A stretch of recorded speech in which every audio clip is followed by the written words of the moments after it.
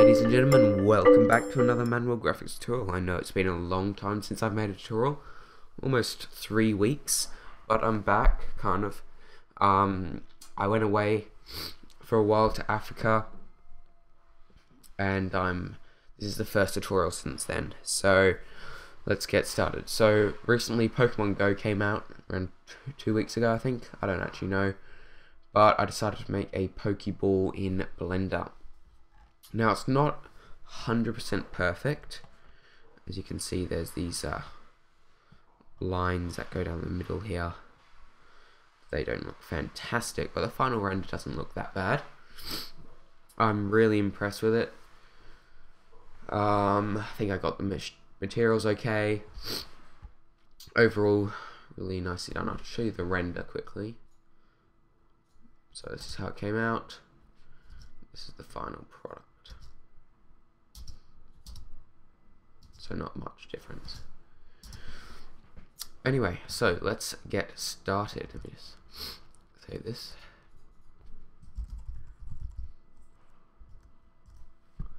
Let's go File New, reload Startup File, and delete the cube and this. We're going to Shift A, add a UV sphere, set the settings to smooth, enter edit mode, rotate on the y-axis, x-axis, sorry, 90 degrees. And okay, this is the issue. Bef before, the first time I made it, I cut the ball in half this way with the round bit facing the top here.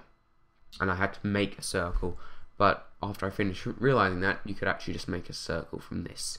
So that's why the other has a line there. And this one hopefully won't. So we're going to rotate on the x-axis 90 degrees, go into front view, orthographic mode, hit Z on the keyboard, A, B, select half, delete, and that's we've got half, then go out of wireframe mode, hit C on your keyboard, select these vertices, hit X, escape, then X, and delete these vertices.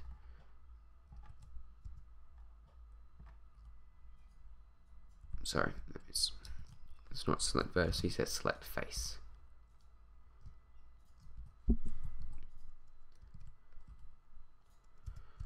So now we've got half of the Pokeball. What we're going to do before we do this, we're going to add a modifier. We're going to add subdivision surface, add 2, apply. Gives us just a smoother cut. This is the top layer of the Pokeball. And we're also going to add a solidify modifier just to thicken it up.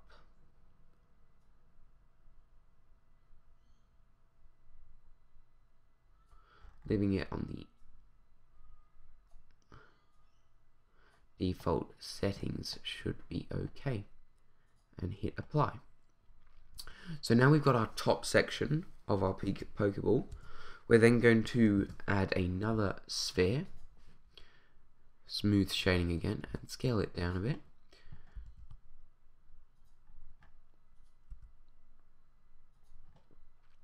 And this sphere is going to be our center ball. So it's currently a bit too fat.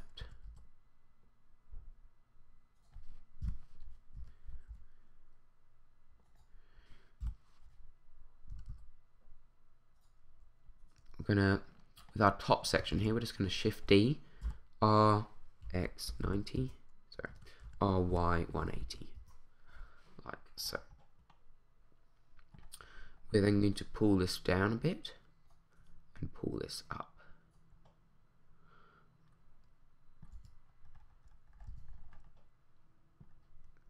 We're then going to flatten this on the z-axis along with this. We want it to keep remain its round shape.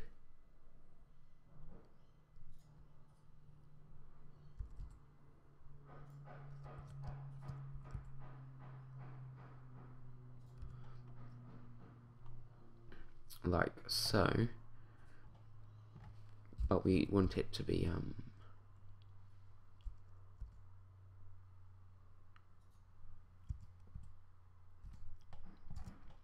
to be slightly bigger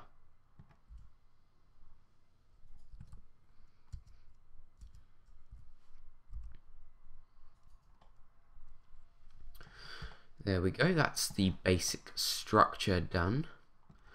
Now with the center bit, we're going to shift A and we're going to add a cylinder.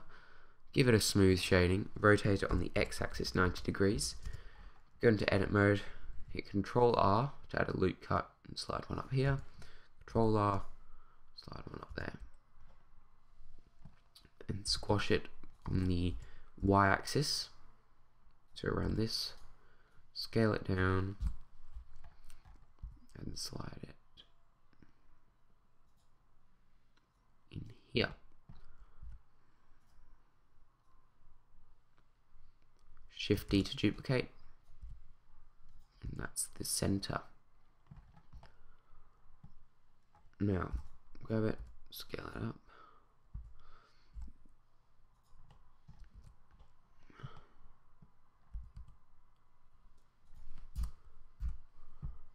Like so scale it on the z-axis so it's round. The next thing we're going to do is create the materials. So for the center material I'm just going to add a I'm going over to the materials make sure I'm in cycles compositing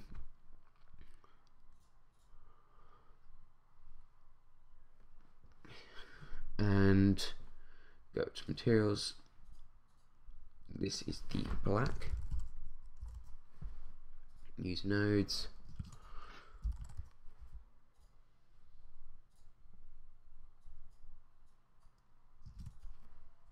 And we're going to add a glossy. Change the color to black. And we want it more diffuse than gloss.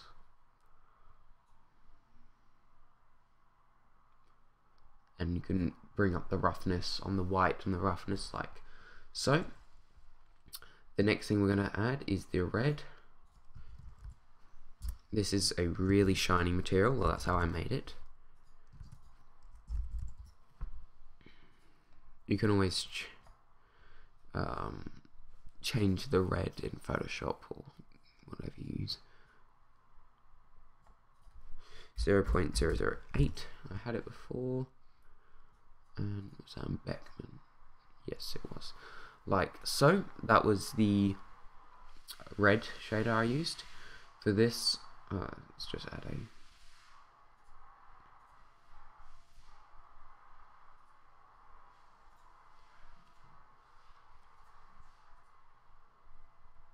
I don't actually like that red.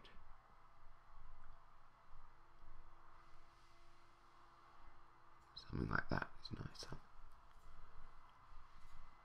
And for the white, it's basically the exact same. But using white there, Beckmann, and 0 0.008, like so. And that's on the base. Now with the center piece here, I'm just gonna a new one. This is just going to be white V2, and it's I think it's just a glossy diffuse mix again.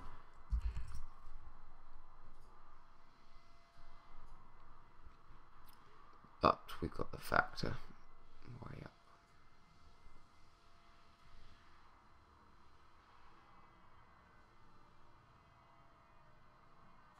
Like so. And we'll just set that to the white V2. Now, pretty happy with the Pokeball right there.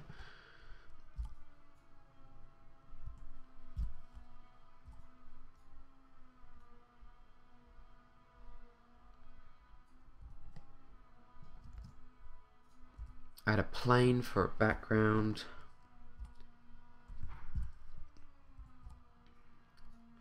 Shift D to duplicate and move this onto the second layer. And the first layer we want to just join this all together. Oh no, we don't. We just want to move it. I always like keeping a backup. And on our plane, I'm just going to rotate it on the x-axis.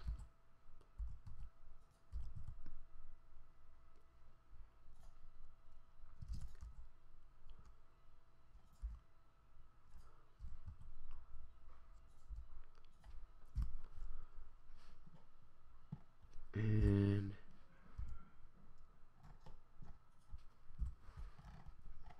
let's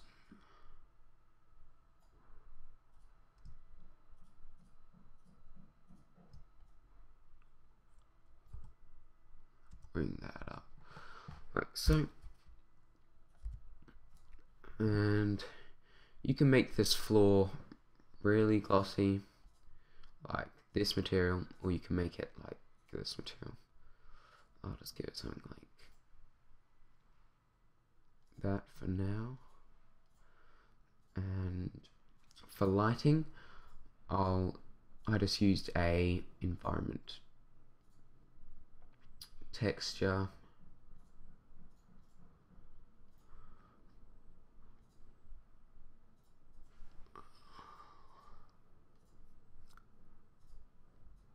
Which is a cloudy one. The one I use in lots of them. And give us a quick render